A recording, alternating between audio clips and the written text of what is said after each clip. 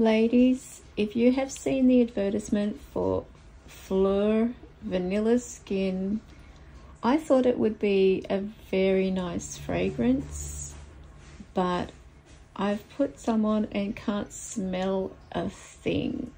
So I have no idea what the hype is about. It doesn't smell. You've got absolutely zero fragrance. You literally would have to cover yourself in the stuff to even acquire a scent.